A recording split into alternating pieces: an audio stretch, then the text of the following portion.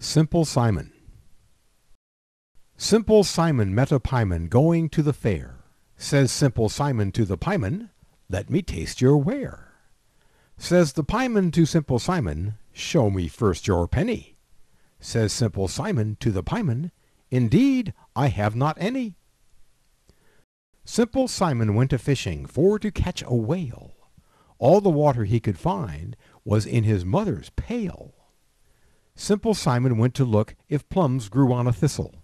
He pricked his fingers very much, which made poor Simon whistle.